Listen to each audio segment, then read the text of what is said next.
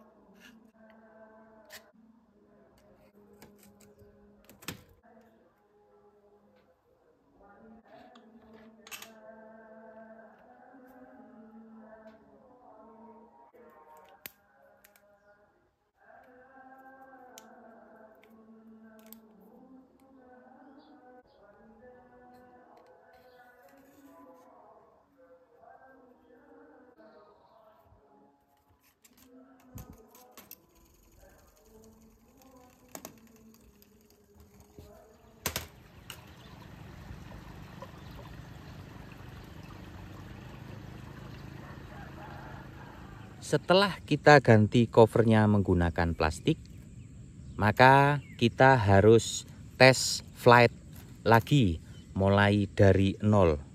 Karena terjadi perubahan berat juga sudut. Terutama berat di bagian belakang bisa berubah seiring pergantian cover dari kertas tisu menjadi plastik. Dan plastik ini juga tidak membuat rangka melenting karena plastiknya tidak merubah sudut karena kelembapan.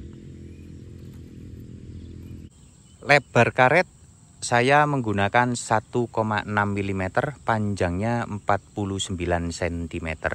Saya kepang. Bisa diperhatikan ada tilt. Stabilizer kiri lebih naik daripada stabilizer kanan. Ini untuk belokan ke kiri gliding test. Istimewa. Kita beri putaran karet sedikit.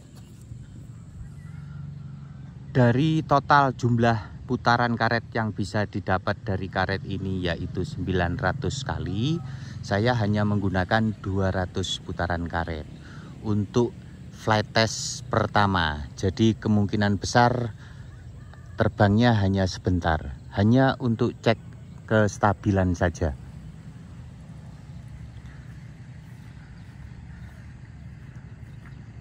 Oke, cukup bagus. Istimewa. Ada sedikit stall atau apa ya istilahnya, berat belakang sedikit seperti lumba-lumba. Kita coba lagi dengan 400 putaran karet. Dengan karet 1,6 mm ini terbangnya pelan. jadi bisa dipakai indoor di gedung yang mungkin kelas ya ruangan kelas kalau outdoor seperti ini harus angin yang benar-benar tenang istimewa. Istimewa. Jos. Kita tambah lagi jumlah putaran karetnya. Ada hembusan angin sedikit sekali. Ini sudah saya gulung karetnya sebanyak seribu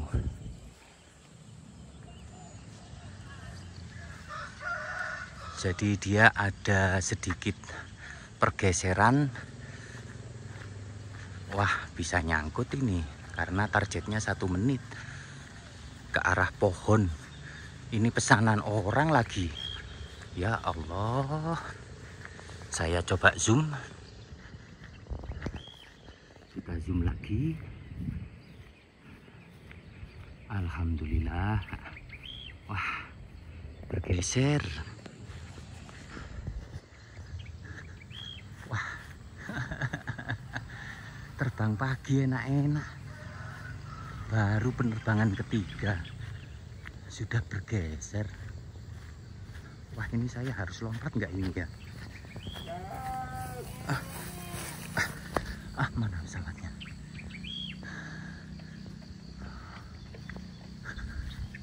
Oke putaran karet habis. Ada kandang kambing